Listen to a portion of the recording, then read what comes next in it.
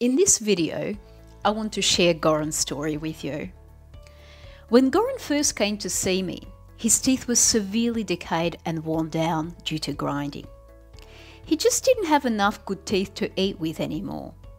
He's been thinking about replacing them with implants for years, and finally, he's made the decision. On initial assessment of his three dimensional scans, I found a cyst in his upper jaw caused by a long standing tooth infection. The cyst had to be removed first and allowed to heal before implants could be placed. After a further evaluation, Goran opted for six implants in the upper jaw and four implants in the lower jaw. Bone is generally more porous in the upper jaw, so six implants allow for better long term prognosis. A minimum of four implants is adequate, However, six implants are even more reliable and predictable. In an ideal world, he would have also elected to do six implants in the lower jaw. But to find a reasonable compromise between perfection and finances, he opted for four implants in the lower jaw. After several preparatory appointments, Goran's teeth were removed under general anesthetic and implants were placed. The surgery lasted about five hours and was immediately followed by the making of his new teeth while he was still asleep. Goran returned the following day to have his new teeth fitted. The important thing to note is that although most patients who have all on four or any other immediate teeth replacement treatment and have fixed bridges inserted the following day, they have to be very careful eating in the first five months. The diet is pretty much restricted to very soft foods mashed potato, blended soups, and very soft pasta. The reason for this is even though implants are screwed into the jawbone, they actually take three to five months to integrate and fuse with the jaw.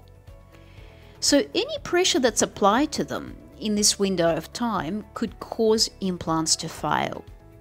So I tell all my patients that in the first five months, you'll be proudly showing off your pearly whites, but eating just has to be put on hold.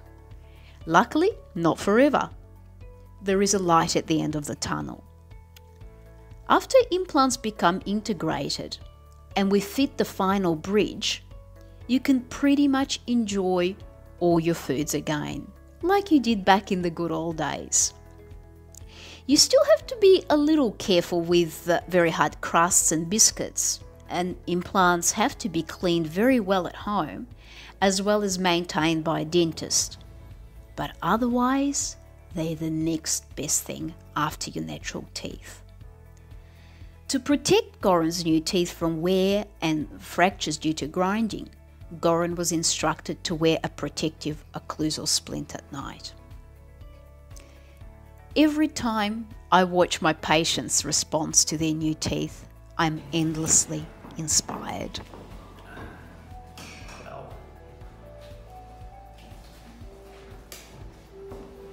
They are spectacular. Brand new teeth, incredible, yeah? It's crazy. Yeah, Mm. you can eat with them now too. Right. Do you feel, do you feel, do you feel it's worth it in the, in the end? Do you feel it's worth it or it's, I, it's, no, no, it's I do feel it's worth it, of course. It's worth the confidence. Yeah, I do, yes, absolutely. amazing. I recommend it. Yeah? If you can afford it, I can recommend it 100%. Yeah. Fantastic. Well, I'm glad, I'm glad to hear. Yeah. Why, um, what prompted the decision in the first place? Um, You obviously had problems for some time with pro- problem teeth. eating, um, confidence, couldn't smile, just all those little, you know, little things that you miss. Yeah, Well, I've, I've been on that for years, so yeah. You got it's used to change, it. yeah. It's Got used to it, yeah, correct. So this is like a big thing, like big life thing, I guess. yeah, Yeah. big change Yeah. in life. It is Something to get It used is. to, but correct. they look amazing. They look Thank you. absolutely spectacular. I bet they would. enjoy, enjoy. Thank you. We enjoy informing and educating, so if you have found this video valuable, please like it, comment, and subscribe to our channel.